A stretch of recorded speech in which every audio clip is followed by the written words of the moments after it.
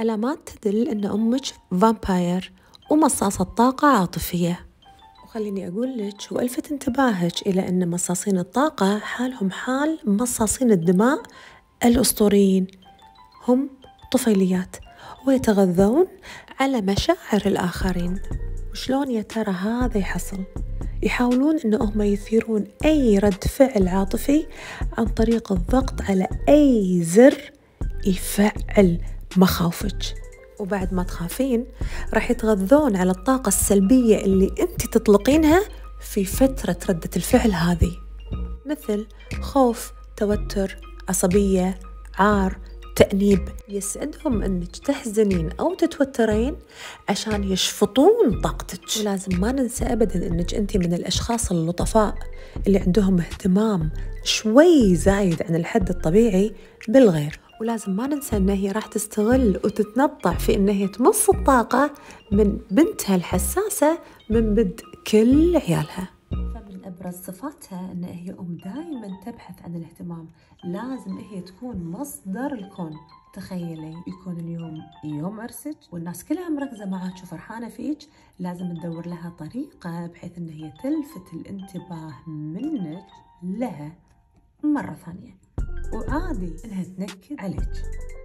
اثنين دائما تلعب دور الضحية يعني سيكولوجية ان هي تقلب الطاولة عليك لما تكون هي غلطانة تطلع هي المغلوط في حقها وهي الضحية وأنت السبب؟ هذه أحد الوسائل الجبارة في سحب الطاقة. أنت بهالحزة الدودهين تقول لي يا ربي أنا شنو سويت؟ هي اللي غلطانة وهي بنفس الوقت الحين شلون طلعت هي البريئة؟ وأذكية في هذا الموضوع. ثلاثة لا يمكن تعترف إنها غلطت. وتظلين أنتي في هذه الدوامة تحاولين بس تشرحين لها إنك تثبتين لها وجهة نظرك الصحيحة. شفتي هذا المجهود اللي أنت قاعدة تبذلينه هني؟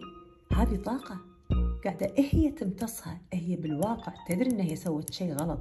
لكن إصرارها بأنها ما تعترف هذا بحد ذاته صنبور آخر لاستنزاف طاقتك.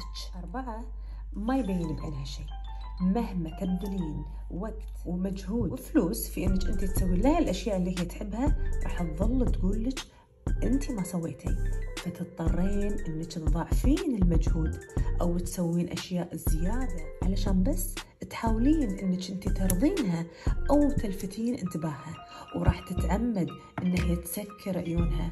ما راح تشوف وراح تبذلين مجهود أكبر وأكبر وأكبر. هذا كله نوع آخر متجدد من سحب ومص طاقتك. خمسة هذه الأم شماتة تفرح دايما بخيباتك وبآلامك وبجروحك. ركزي. بجروحك عمرها ما راح تشوفينها تواسيك أو إنها تعاونك. دايما راح توقف موقف العدو. وبهالمناسبة خلوني أشرح لكم ليش سموهم فامبايرز مع أن الموضوع ما في دم. مصاص الطاقة الأسطوري فعليا يجرحك في أسنانه ويمتص دمك أما مصاصين الطاقة العاطفيين يستمتعون بجروحكم العاطفية ويمصون الطاقة الصادرة من بعد هذا الجرح. ستة. ردود أفعالها دائما غير متوقعة وصادمة. تغضب من لا شيء. ممكن إنك تسوين شيء بحسن نية وبطيب خاطر لكن هي تقلب عليك السالفة وتبتدي تنتقدك وتتهمك وتلومك. هذه الحركة صراحة بايخة. وطبعا لما تكون هي مليانة بكل هذه الصفات لا تتوقعين أنك تكون إنسانة إيجابية. راح تكون إنسانة سلبية. وصعب إنك أنت تتناقشين معاها. يعني لما تحصل مشكلة وتروحين أنت تبين تحلين الموضوع دائما وابدا راح تتجنبك راح تصدك راح تبعدك عنها بحيث إنك أنت تتودهين راح تقعدين تشغلين فكرك. شلون؟ شنو أسوي؟ شلون أراضيها؟ يا ربي إحنا ما نبي نزعل. هذا المجهود أيضا نوع آخر من شف وسحب الطاقة. ومن أهم صفاتها أن هي إنسانة كل ما تعرف وكل ما تنتبه وما تدري متى صار هذا الشيء وكل ما أتذكر. وأنتوا تبالون وأنتوا يتهيأ لكم هذه أحد الحيل لأن هي ما يصير تكون إنسانة شريرة على كل هذه الجوانب. بعدين لازم بعد شوية تصير يعني لطيفة وفقيرة وما تفهم يعني وما تعرف. لازم. عشان تسوي توازن.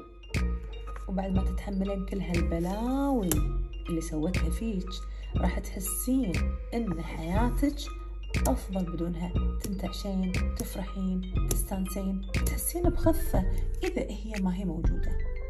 11 إنسانة وايد شكاية عن التذمر والتشكي آه، والحزن. أحد الأساليب الأخرى بسحب طاقتك الإيجابية اللي هي تبيها آخر شيء تتعمد إن هي تغيظك وتتعمد إن هي تسوي الأشياء اللي تنرفزك وتستفزك وتضايقك وتقلل من قدرك وتثير الغيرة بداخلك إيش رأيكم فيها؟ خوش أم ولا مو خوش أم؟